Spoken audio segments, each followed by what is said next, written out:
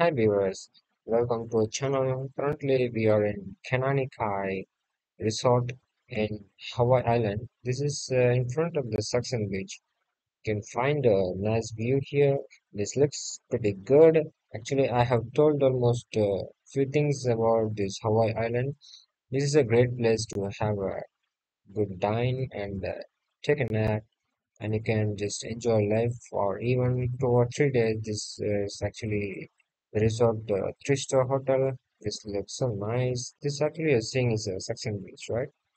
Yes, just have a good uh, 360 view over here and find. Mm, you can reach here by means of uh, seaways, uh, also uh, airways from the Honolulu. That's the capital of Hawaii, right? See, uh, this is so nice.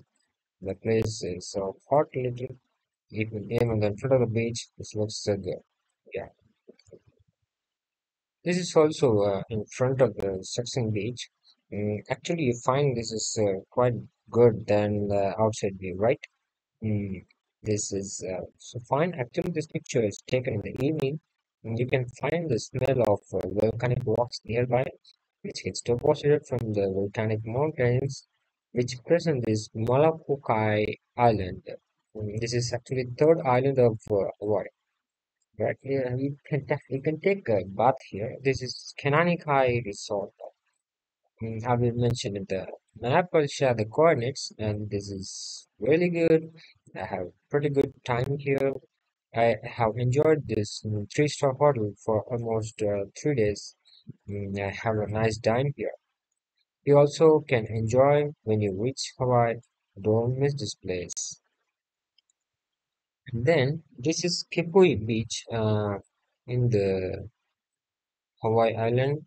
This is the third one, Mola in Molokai. This is Kepuhi Beach, where uh, um, this can be viewed from the the Kenani Kai Beach Resort. This looks so nice, right?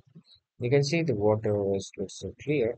Um, you can so there is up to 1.5 kilometers. Uh, the water depth is not so much, so you can have the uh, water related activities here. This can be arranged by the team presence in the Kepuhi beach and you can have a nice enjoy. Actually, this view was taken in the morning so that you cannot able to see even a single sailing things in the sea.